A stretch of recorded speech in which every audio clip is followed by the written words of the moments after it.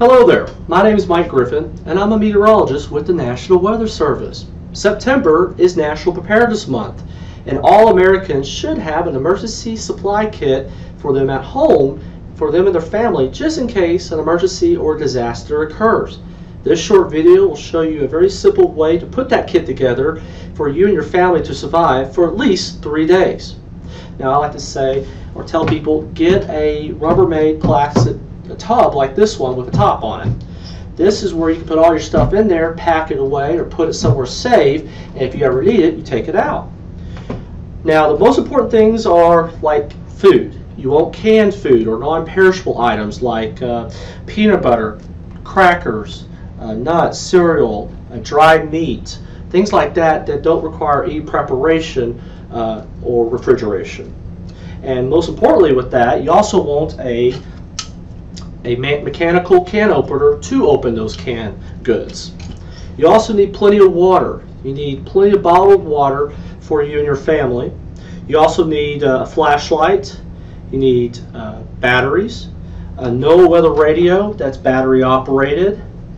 You also need uh, some simple tool tools in case uh, you need them or things happen like duct tape, uh, screwdriver, wrench, things like that. And you also need a uh, a metal pot to possibly uh, cook in if you uh, need to do that.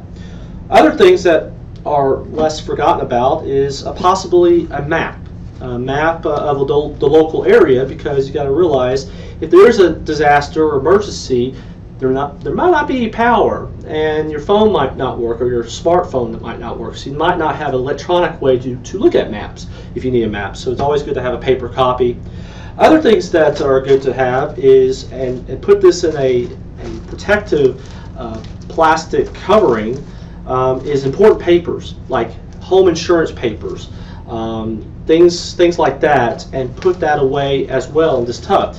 Uh, also, it's a good idea to have some cash on hand and put that in those important papers as well together and put that in the tub because of the power might be out or the phone lines might be out, communication might be down, so credit cards and debit cards won't work in that type of emergency or disaster, so cash is always good to have on hand.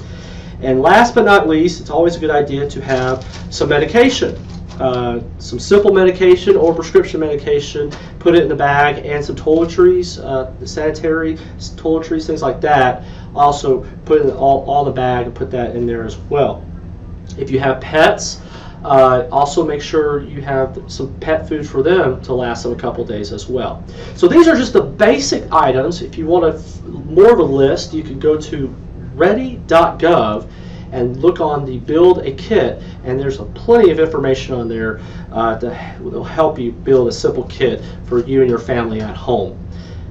Again, thank you for joining us. This is Mike Griffin with the National Weather Service showing you how to build a simple emergency kit at home.